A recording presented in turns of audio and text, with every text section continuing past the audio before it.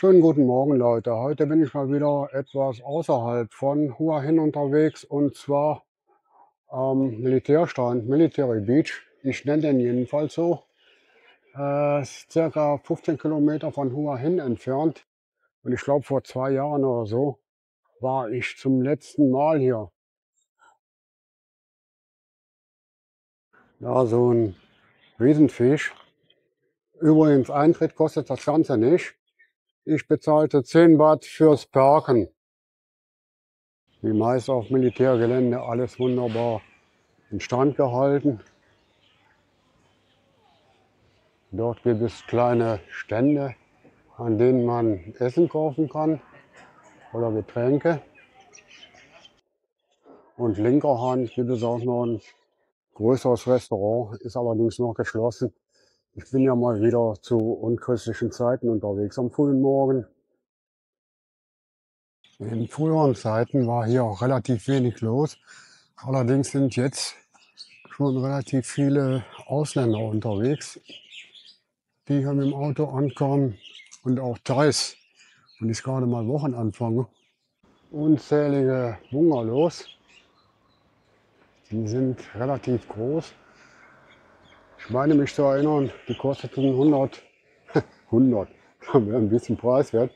Ich meine mich zu erinnern, die kosteten um die 1000 Baht. Könnte natürlich auch teurer geworden sein jetzt wieder.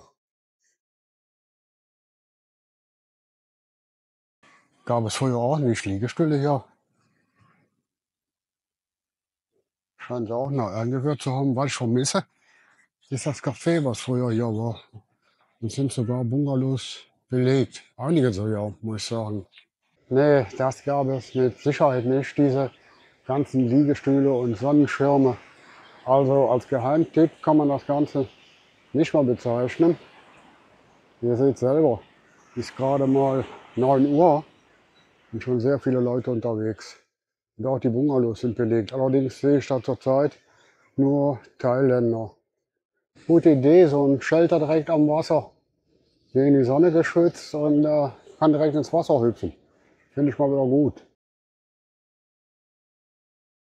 Ja Leute, hier bin ich eigentlich recht selten. Fast alle Ausländer, die lange Zeit in Thailand leben, haben so ihre eingefahrenen, festgefahrenen Wege. Das heißt, man geht meistens in die gleichen Restaurants am Morgen, besucht dieselben Cafés, abends entdeckt man mal wieder was Neues und setzt das mit auf seine persönliche Bestenliste. Aber im Großen und Ganzen äh, ja, geht man doch zu den gleichen Lokalen. Auch die ganzen Leute, die ich so kenne, machen das.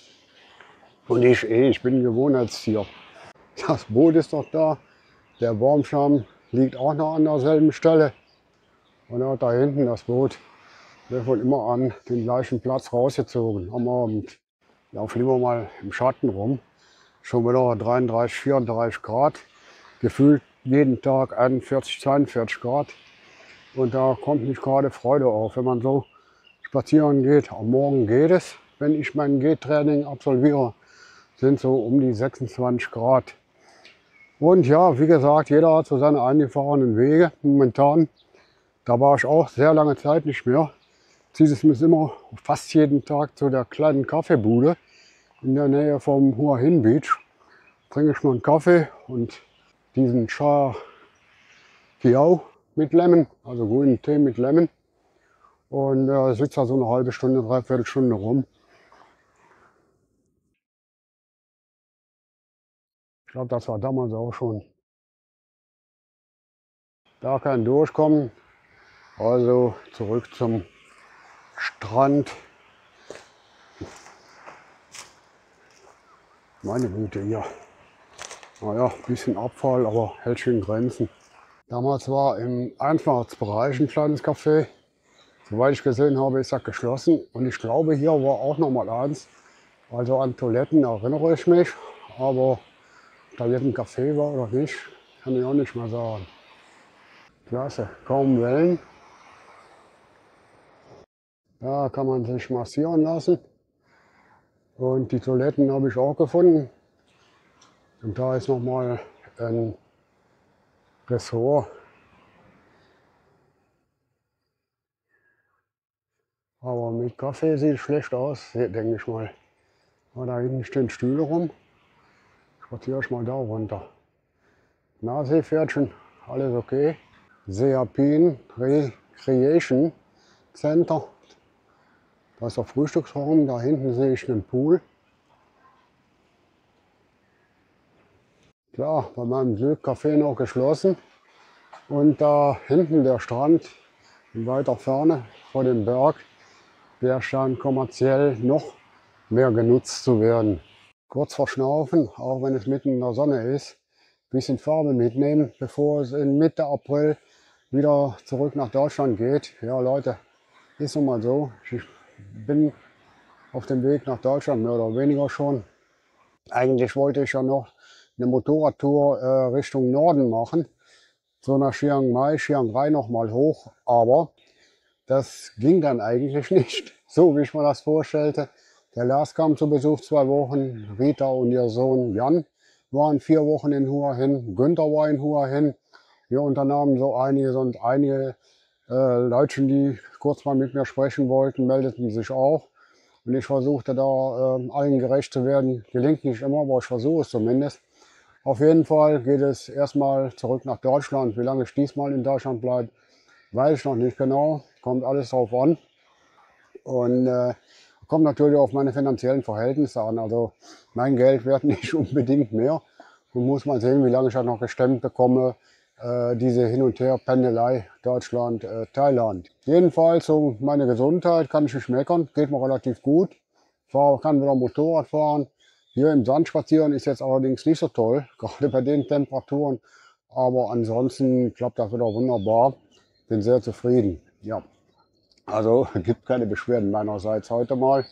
Und ja, ich denke mal, beim nächsten Mal geht immer noch mal besser und dann habe ich auch wieder mehr Zeit und kann dann auch mal eine vernünftig und kann dann auch mal eine längere Motorradtour wieder machen. Momentan ist man alles zu dicht gedrängt haben noch Sachen zu erledigen, musste mein äh, Re-Entry-Visum machen und auch andere Sachen erledigen. Also momentan sieht es dann nicht so doll aus. Jo, soweit so gut. Ich spaziere langsam auf den festeren Sand wieder Richtung Ausgangspunkt, Richtung Motorrad. Und mal sehen, was ich dann heute noch anstelle. Aber erst hätte ich gerne einen Kaffee hier irgendwo. Und dann ein ganz ordentliches Stück gelaufen.